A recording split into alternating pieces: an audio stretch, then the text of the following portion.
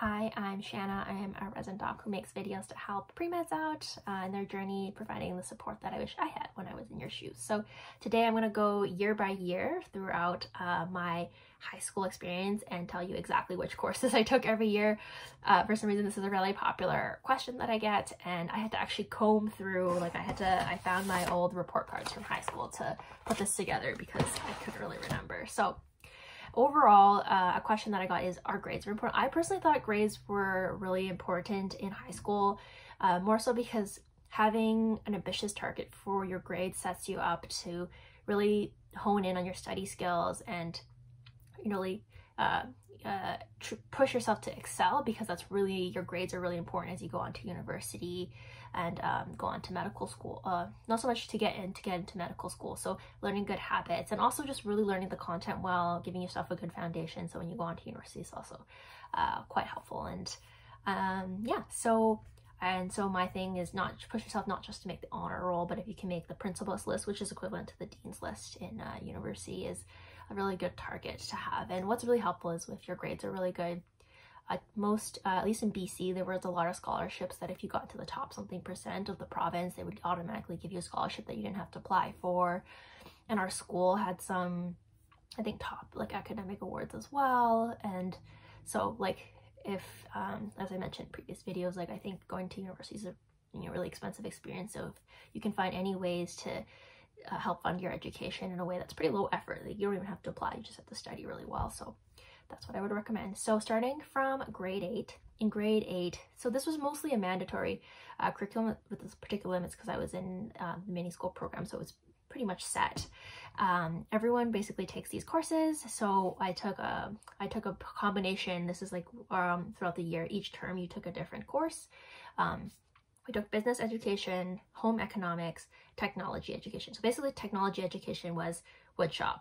Home ec was cooking and sewing business education. I actually can't remember what that was. I don't know, whatever. It was mandatory for our school. Next up, I took English. I took French. That was the language that's actually pre-chosen by our mini school program. Uh, I think everyone has to take it, but I know there's other schools you can choose stuff like Japanese and Chinese and Spanish. So, um, so that's why there was no particular reason that I uh, chose French. And to be honest, I'm not. I don't think I would choose French if it was up to me. I think uh, language like Spanish or working on your Mandarin might be more helpful or whatever variety you have. So kind of choose as you as you like. Um, I took science and in particular part of this program that I was in high school, we all competed in the Greater Vancouver Regional Science Fair, which gave it an extra push to it. I took social studies, uh, physical education, and math. So the elective courses I took, I chose to take strings, beginners. I had never played violin before, but it was just an interesting challenge. I did that only for a year. And then off timetable, which means, so in my high school, the max number of courses you can take um, during the regular school hours is eight. That's a full course load. Um, we actually had the option to take extra courses on top of a normal full course load. And so we call those off timetable because those often occurred early in the morning and in the afternoon, usually a combo of of such. And so I took jazz band off timetable as my ninth course. So moving on to grade nine, I didn't, I left strings and I played, went into concert band. Um, and that, that helped because when I was in elementary school, I had done a couple years of concert band. So I just went back to the same instrument and uh, did that. I did English. Again, I did French because that was part of our mini school program to do French. I didn't um, uh, I did change the language because the program, but I think at this point many people do go on to change to Japanese, etc. Uh, whatever language you want. Uh, I took information technology. I really like that. I think we use like HTML and like made little flash games and like contributed to the school website. There's like a lot of tech um, things on our like just computer related stuff. And I thought those were useful skills to have. I don't think I use them now, but I, I thought it was an interesting class to take. I took math, uh, we took I had PE, science, social studies, and as my extra off timetable classes, my ninth and 10th classes, I took jazz band off timetable and I took concert choir. So this in the grade nine, I took 10 courses. That was, so it was pretty heavy at times. Um, so I believe jazz band was two mornings a week and then concert choir was two days in the evening after school. And so so I just had to manage your time really well. Um, and I thought those were quite fun opportunities to be involved in. Then the summer after grade nine, I took Planning 10 online and I chose eBus Academy. Uh, I thought that was they were quite great um, and I was able to finish it quite quickly and it was very straightforward. So that's a recommendation I have. I think Planning 10 is a very easy course to take online. So if there's an opportunity for you, I would recommend doing the same.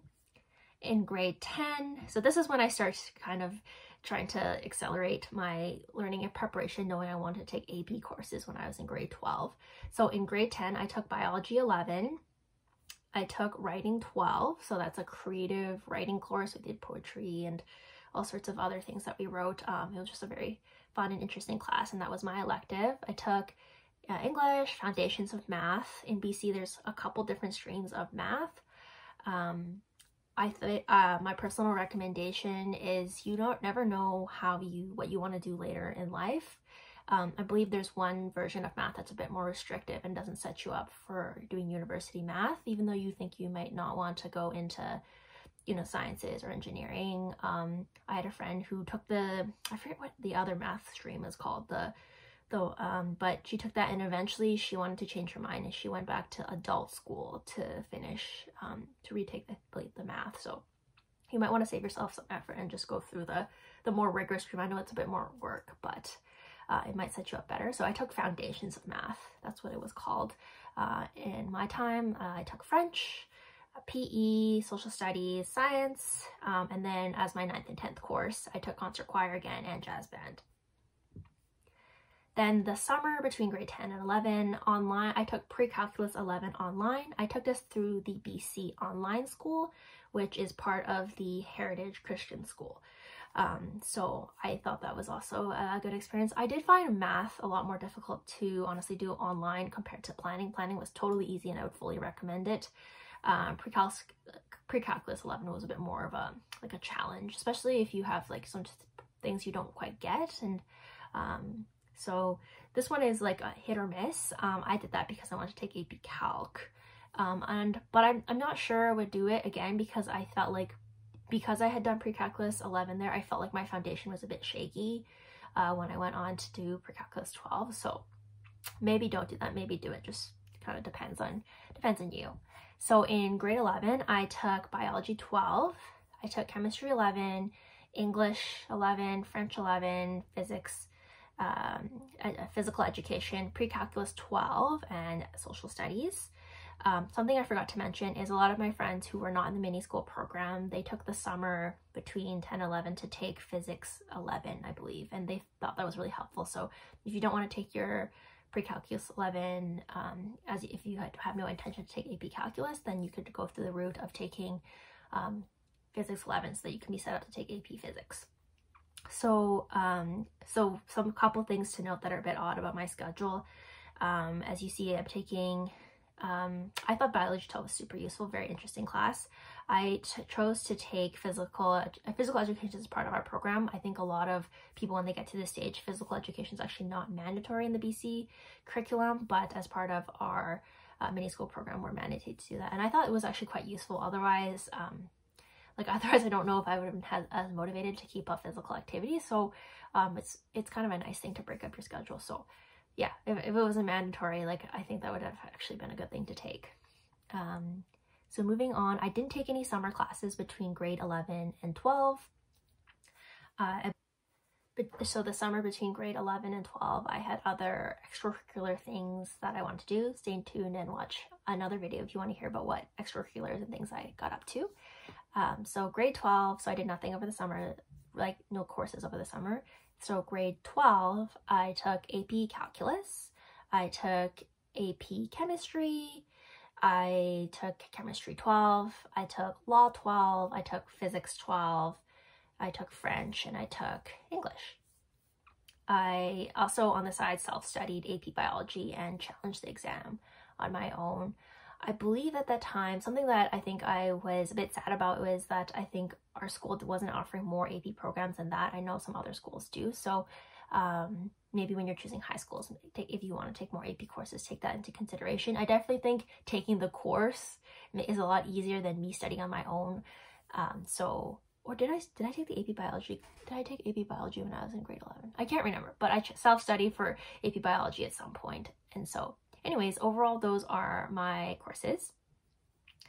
Um, a question that I don't really find necessary, I don't find knowing other people's GPA that helpful, but I know this is a common question that you guys have sent in and asked. Uh, I calculated my overall average um, from high school as well was 95 and also my grade 12 average was 95 so this is actually not as high as I'd like it to be. I have friends whose averages were in the high 90s that are um, my classmates in medical school. So it's um I'm like little a little ashamed that it's not higher to be honest. Um, some factors that um, to take into consideration that uh, might change your grades if you're anything like me um, the music program was a very loving community. All my friends were in it. We go on cool trips. The teachers are awesome. Um, however, there's a catch. All my friends got amazing grades in music. I did not. The worst grades that I got on my transcript to this day are actually on my music courses. I think I have like an 86, that kind of thing. Whereas like, you know, take doing well in math or chemistry just came a lot easier to me. And I think I think I have partial tone deafness and I think that's the main factor. Um, so I actually stopped uh, taking music courses after I was in grade uh, 10 so if you don't have any problems with like doing well grade wise I think it's very fun to keep continuing and most people say the music being the music program was the most uh, supportive and helpful environment to be in. I uh, did continue to be, be, involved in music. I led a club called Music Outreach Society, so I got to get to together with friends and we would perform. Um, I would organize concerts uh, for people who are disadvantaged in some way, and we would put on concerts and kind of customize what kind of music they would want. I'm not a good musician, but I'm very passionate about community service and being a good leader. I actually have never told my friends this, why I dropped out of music. It's just because I had bad grades. Uh, so if someone's watching this is gonna think this is kind of funny. I also really struggled in physical education. Initially, uh, my initial grades in very the first term, I believe, of first year was like an 84, 85. It was just on the cusp of getting A, and I was really bitter about getting this like 1B.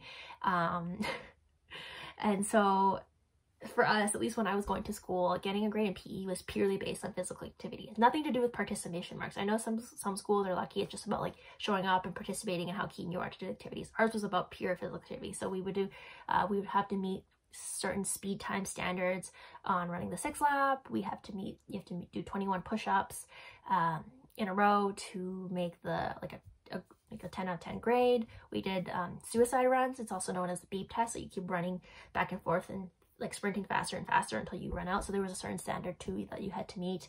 Um, there was also one where you had to run, I believe like 3.4k or something like that. And you also, it was a timed run. So, and like also your flexibility was. So basically lots of physical ability stuff. And it's the same standards no matter what height you are and whatever physical conditions you have. So it was actually quite hard. So I'm on the shorter side, I would say about five three or so and there were girls in my class that were like six feet. And so you can see how it's a lot easier to run um, run the same number of six laps in a lower amount of time if you just have huger stride like i'm making excuses but um so in the in the way in the end i managed to get myself a good grade. I really tried to i started doing regular strength training and re running regularly just because i wanted a really good gpa and was really diligent about it. There was there were some limits i obviously couldn't overcome so my PE teacher was really nice about this. And if your PE teacher doesn't already offer this, you can maybe make a deal.